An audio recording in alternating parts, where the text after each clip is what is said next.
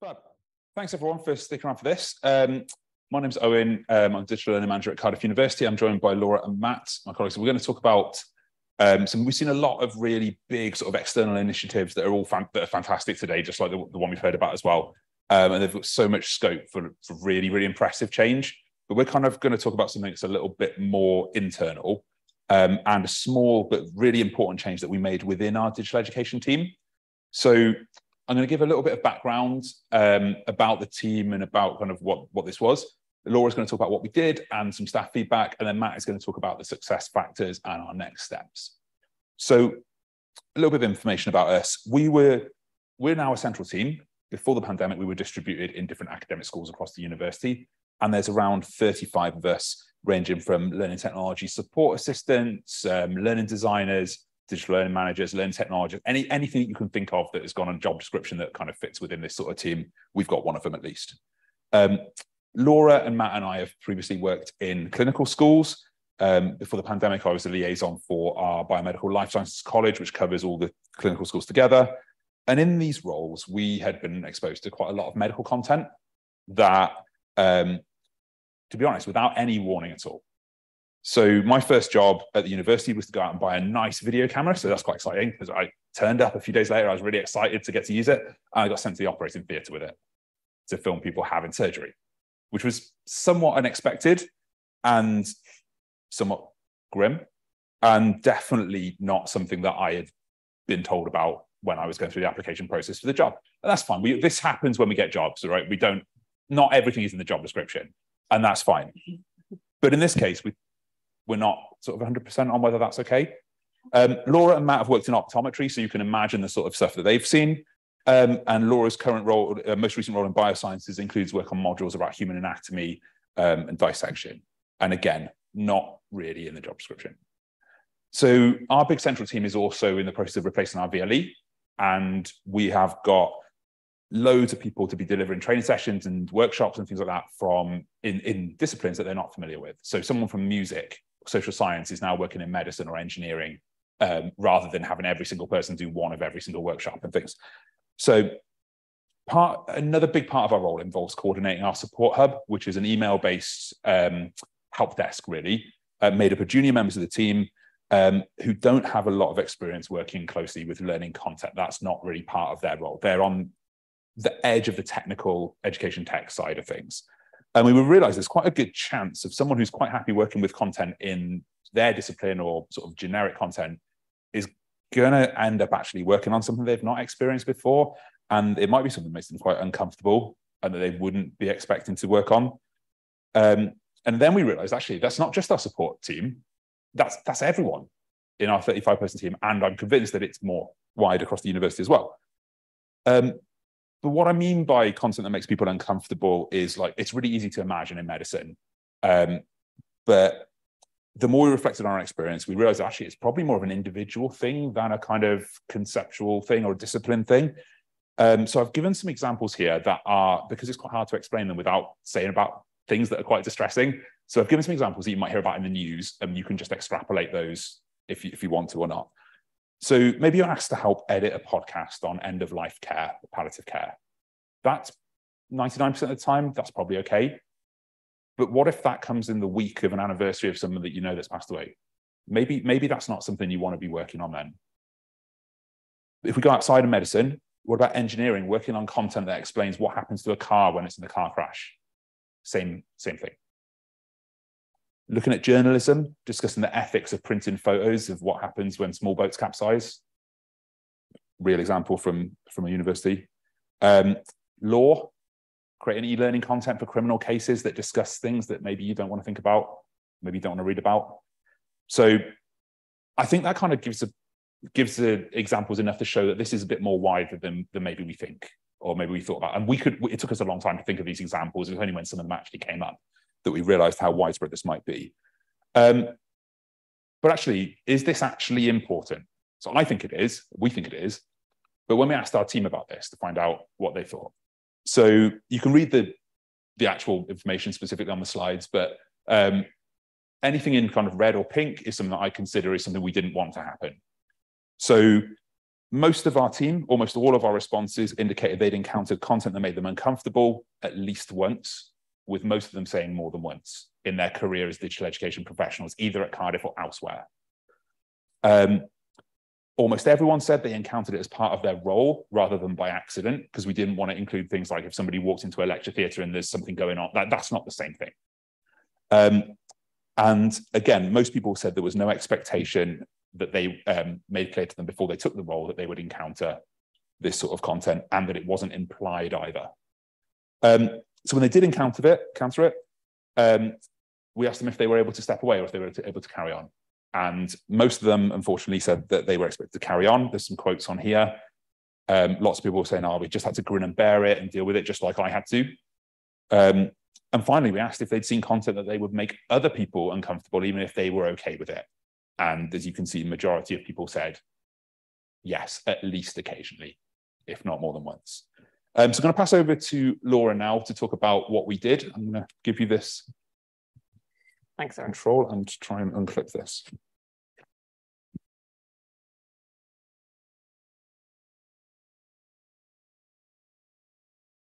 Okay, so I'm going to talk about more about what we actually did to get this project started.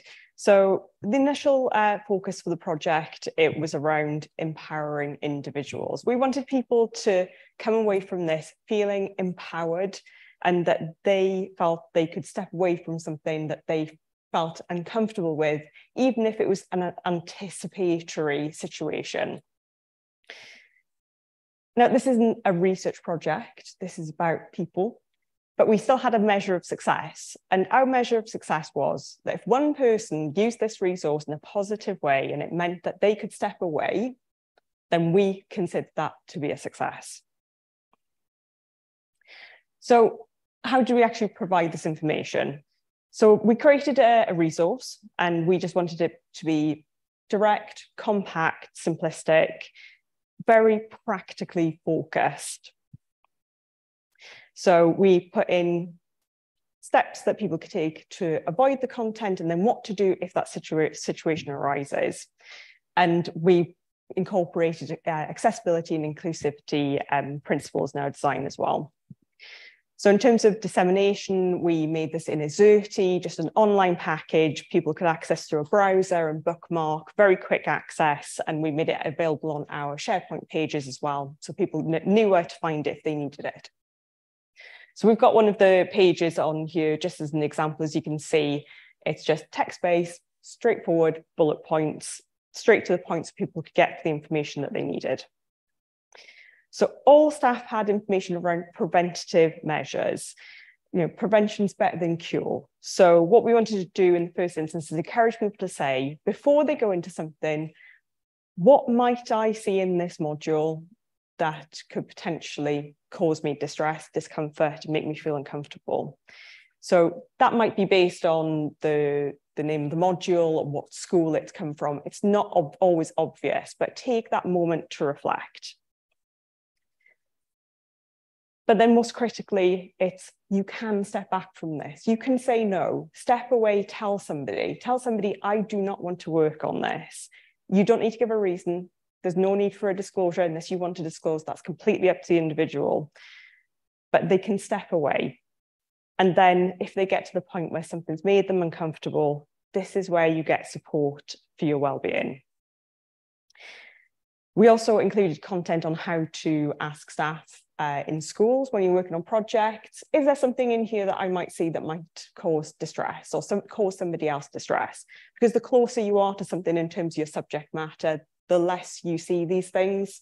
So sometimes people say, oh, actually, I hadn't thought of it like that before. And then they say, actually, yes, there might be something in here. This is what they might find.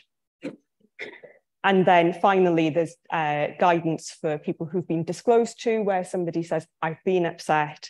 And there's the just our university resources, well-being, where, where to get help. So what was the actual feedback and the impact? so we focus very much around the usefulness of this and the majority of the team uh, surveyed said that for them on a personal level that they found it useful. So there were a few people who said they didn't find it useful but this is purely subjective. So there might be people who maybe can look at absolutely anything. It's never going to be an issue. And that's totally fine. That does happen but what was really positive and reassuring is that they all said they thought it was important that we needed to have this even if they felt that it might be important for some somebody else. So that level of empathy that somebody else might find that find this useful. We've got a really nice quote here from um, one of the team that's uh, saying that you don't always know that this is an issue until this is too late. And this is one of the reasons why this is really important and lastly, um, we asked how, if they'd made use of the resource. And actually, six out of the 11 people who responded to this question said yes. Now, coming back to our measure of success, our measure of success was one person. So for us, this is a massively positive outcome that they've no known it was there and they've come back and they've used it. So looking on uh, then to more deep diving on the impact, I say coming back to this confidence and feeling uh, feeling empowered. This is moving towards more of a cultural shift, and Matt's going to talk a bit more later about the team in itself in that respect. So we wanted staff to you know give us an indication of how confident does this resource make you feel um, in being able to deal with content and uh, uncomfortable content in the future. And for the most part, most people said yes, it made them feel confident. But then does the existence of the resource make you feel co more conf confident about asking to stop working on something? And the absolute majority again said yes, which is what we wanted to see. We wanted people to come away and say, yes, I feel be able to say, I do not want to work on this. Makes me feel uncomfortable. And then uh, just at the bottom here, we've got uh, another quote uh, um, from a member of the team who said that this was a revelation because they didn't know that they could step away. They didn't know they could say say say no, and that they would uh, prioritize the work over their own well-being. So for them, stepping away from this, looking at this resource, knowing that um, they could look after themselves and put themselves first was really crucial. And hand over to Matt. Thanks a lot. Cheers. Okay, so I'm going to talk to you a bit about, let's move on actually, about what we think made it possible for this change to be successful. So the success of this policy, we think, is built on the existing flexibility in workload management uh, that has been practiced since we were brought into a central team in 2020. So as Owen said, we have around 35 different uh, digital education professionals in various roles in the DigEd team. Um, meaning there are enough people to step in uh, to support colleagues when needed. Um, and this established way of working has led to a great deal of trust between team members. And we've proven over time that a self-directed support environment works for us.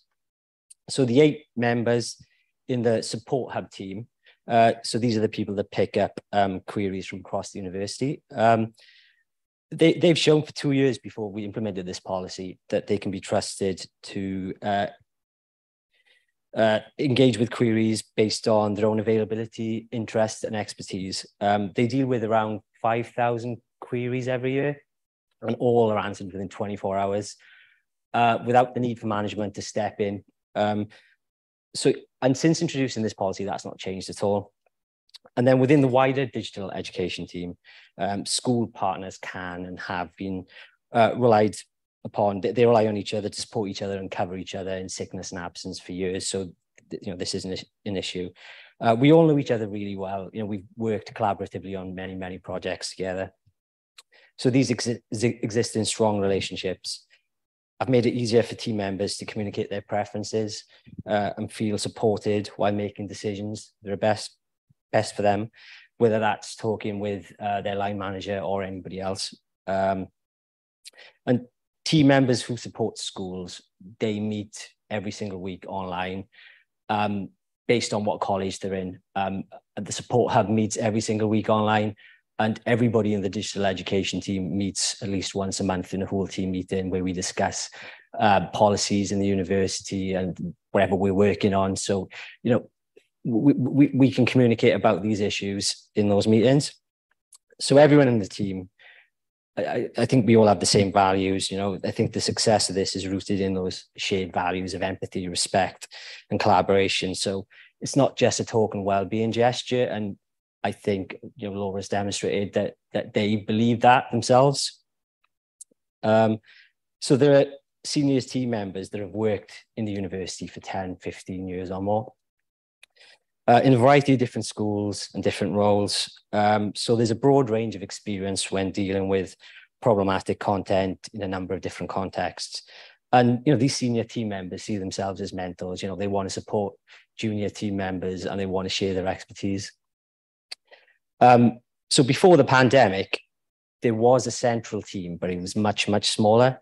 So the majority of our learning technologists back then were based in schools and isolated. So they would often go months without talking to any other digital education professionals, you know, potentially just in their own little silos. Um, and this meant that they felt as though they had to deal with content uh, that made them feel uncomfortable. They felt as though they didn't have a choice uh, as there was no one else to step in. So we think that being in this bigger central team with 35 members is, is I think, has been the foundation that's allowed this policy to work. So yeah, what are our next steps? So we want we want to raise awareness with academic and pro, program admin teams by being an open and honest with colleagues when we come across potentially problematic content just so that they think twice about uh, what they can do in their own practice to warn colleagues. Uh, and we'd like to go bigger, bigger and gather experiences from outside Cardiff and do some research with other digital education professionals and look at how we can make this something that is embedded as part of our roles potentially which is why we're speaking to you today at this conference uh, so we'd encourage anybody interested in working with us from other institutions to reach out to us, see if we can do some work together. Um, and finally, we want to look to see if this is something that affects professional service staff and other teams within the university, uh, which means having conversations with people and in other roles and speaking at other events and conferences. So that that's what we plan on doing. Yeah, so there, are there any questions from anybody?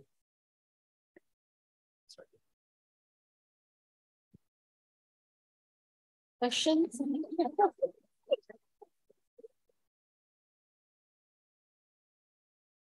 Questions, anyone?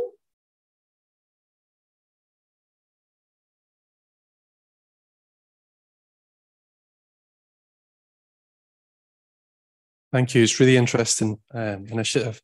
Can I just ask about your senior leadership support for this? So if you took this to a really extreme scenario where you've got a module going live tomorrow with 100 people on it, and you're having to work on material that you find distressing, would a senior leader back you in saying, okay, then that module can't be ready in time? I think so. Yeah. Well, I mean, as part of our senior management team, the digital team, I would I would back the, the team to do that. We shouldn't be at that point if we're at these points. So we start. We did think about what are the extreme situations. What if somebody picks up on something because of a value that we don't share, and they don't want they don't want to work on a piece of content for a value that I don't consider to be something that is appropriate for the university? What if everyone on the team decides there's something they don't want to work on? But actually, these, these scenarios are so extreme, so rare that I'd much rather have implemented something that allows the people that have benefited from it to benefit from it now. And when we encounter that situation, we'll deal with it then. I'm I am feeling fairly confident that we'd be okay in that situation to support that individual, though. Thank you. Um, so how's about your students? So is it an initiative that you're planning to extend to, to your students? Is it something that you would like to address, you're worried about? And do you know if your students perhaps have been in a situation where they have seen something and yeah, so when we quite were, like it? When we were looking into this, actually, there's a lot um, there's a lot of support for staff, um, and I work with a lot of staff in the NHS. There's a lot of support for NHS staff who are obviously seeing things on a day-to-day basis that are significantly worse than the sort of things we're talking about here in most cases. Um, students also have a lot of support networks within their discipline.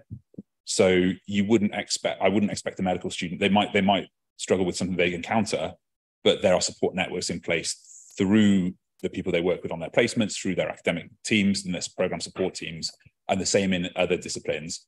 That support is there is there for students. And actually, the, we saw we kind of saw this as a gap where students have got support, staff have got support, but there's a whole raft of people in the middle who encounter it so rarely that nobody's ever really thought about their support in that area. Oh, that's great. So, do you? Online. Uh, right. Okay. So, um, and then do you, your team, with your piece of work and how you support staff, do you communicate with the people who support students? So this is really early stages for us. That's one of our next steps is to look at where does this go beyond our team because it I, I, I think that there's going to be professional services teams that are dealing with. In fact, I know there are in sort of biosciences optometry as well. We all know. So it's kind of how do we get that message across without it sounding like here's another thing for academic people to do when they've got a billion other things that are maybe more important in their minds. But actually, when we've mentioned it to people, they've got, oh, you know, I never even thought that I was sending you a link to this picture of this or sending you. this. It just it just doesn't hasn't quite been in people's minds yet. So we're trying to sort of raise that awareness and then look into where we might be able to make some more in interventions to kind of help. Thanks. Sorry. uh, um, I was just going to ask. So obviously, this is going to work in a central team. I can understand that. Um, in a you know a technical support team that is based in a clinical discipline, mm. for example, um, how might how might that work? Or do you think that there is an argument to put information and sort of trigger warnings into job descriptions? Um, you know, yeah. because it's unavoidable. Yeah, and I think it's not um, when you say trigger warning it's just like that. I know, I, know, I we all know what we mean, but the, the more like, externally, that's our oh, universities talking about trigger warnings of that again actually it's just about making it clear in the job description actually this is a clinical school this is a, you are going to be you are potentially going to be seeing this and it's just about being open we'd be open with our students we'd be open with with staff in our team that, that we manage about other things so why not why not be open about this recruitment is notoriously bad with job descriptions that are just kind of a bit random and person specs just to get people into professional services and yeah I, I think we haven't got any answers for spaces that exist at the moment.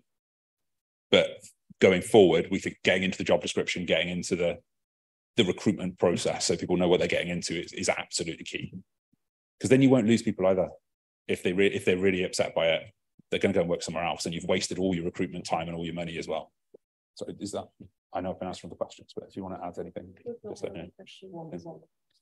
Yeah, just one for me. I thought that was really interesting and a really good presentation. I just wanted to kind of understand, you know, when you say don't want to, you're not able to deliver something, do, what do you look at a lot of the alternatives and different ways of doing things? How, how do you get round? Yeah, so it's not so much, um, and I think that we might not have been very clear about this in 15 minutes, but it's not about not delivering something.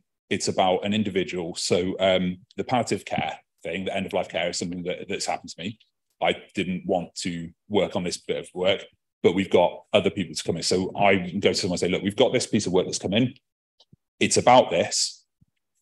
Is there anyone who is quite is happy to sort of go and work with the team and meet with the team on that? So it's it's not so much about not delivering pieces of work, it's about swapping out the individual person that might be doing that piece of work with them, or potentially taking them out of maybe the more intense sides of it. So standing behind a camera, filming what's going on. You can't not look at what you have to know what's going on, editing that podcast or whatever.